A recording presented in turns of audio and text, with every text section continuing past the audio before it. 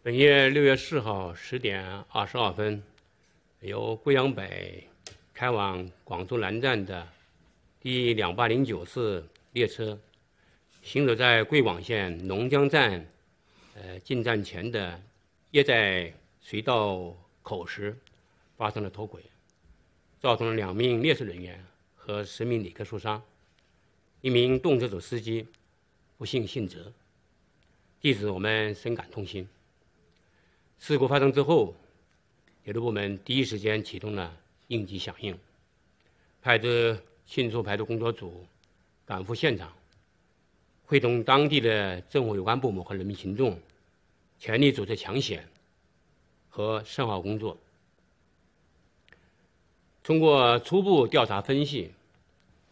事故主要是由于当地连续降雨。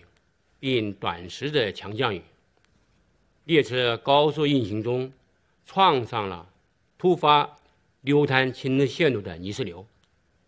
导致七号、八号车发生脱轨。